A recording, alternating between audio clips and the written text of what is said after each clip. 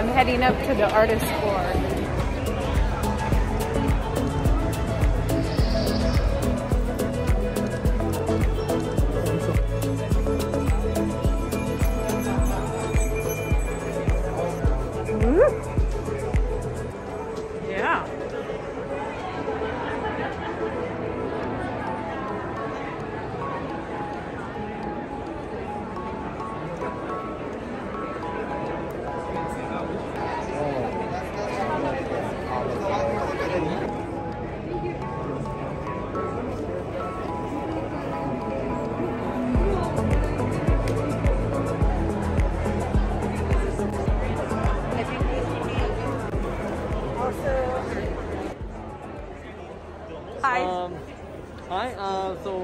My work, I usually begin totally abstract, and Okay. so I'm just putting down colors and shapes, and then I look at it kind of like you would look at clouds, um, and then it just kind of comes to me spontaneously, and whatever I see in the artwork or in the, the abstraction, I just keep nudging it in that direction until it feels finished. That's so cool. That is so cool. Do you have a favorite of like Um, that you have on display here of like Right now- it just felt like it came together? This one is one of my favorites. Okay, yeah, Um, I really like the light on that one. This one a lot. This one is called We Are Unity. And um, so later I'll be launching an interactive website Uh-huh. uh, with this image where, so within this image there are over a hundred um, little events within it and they all have their own poem. So the Oh. website is going to allow you to kind of pan and explore through the image and then the poems will kind of pop up as you discover the different events. Um, and then there'll be like little secrets in there that you can discover too. So I, I thought that would be like a fun way to kind of extend artwork into something a little bit more than a 2D image. Yeah, yeah, that is really that's that's so creative. That's such a that's such a good way to like keep your artwork alive too. Yeah, I, I, I want my work to be engaging, um, and I think like um, I, I started in concept art, and now I do like illustration, and I sell my artwork.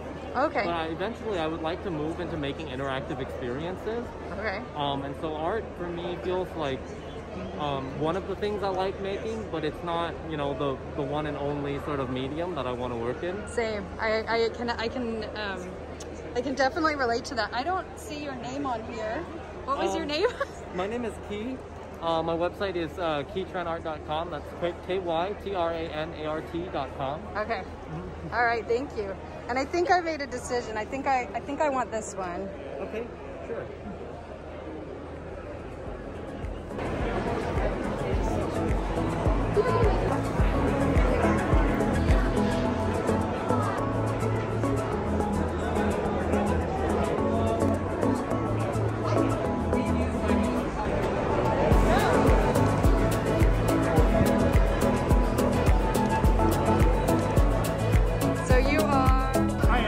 Valentine Barker, and I try to put joy and happiness back in the world.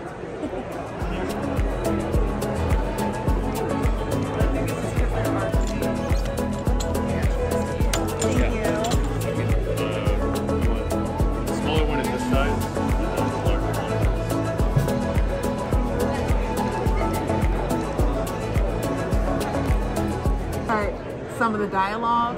Um, so it's been a it's been a learning process, but everyone has just been so just great as far as working with. Um, this is my first full on series. Yeah, I didn't know how much goes into this. Yeah, it's so it's so much. Is that you have a letterer, you have an artist who does the pencils. It may not do the ink, so we have an inker, we have a colorist. It's a a whole thing. Uh, actually, Fenty Beauty had reached out to us. Uh, they retweeted a uh, tweet from uh, one of the colorists saying that he just thought that it was genius that we used the Fenty Beauty brand uh, foundation chart to denote the skin tones. Because for like the longest in comics, whatever reason, when it comes to characters of color, especially black characters, the skin tone varies. So you have Storm looking as though uh, she's somebody's light-skinned auntie to uh, the darker uh, versions of Storms that we're more used to. So trying to get better about communicating with artists and saying like, hey, here's something that you can refer to for this color skin tone. Because if they can paint, if Mystique can be the same shade of blue for decades, then there's no reason why Storm skin tone varies from, you know, all them. Um, I don't know, just continue to push comics forward uh, in the direction that it needs to go.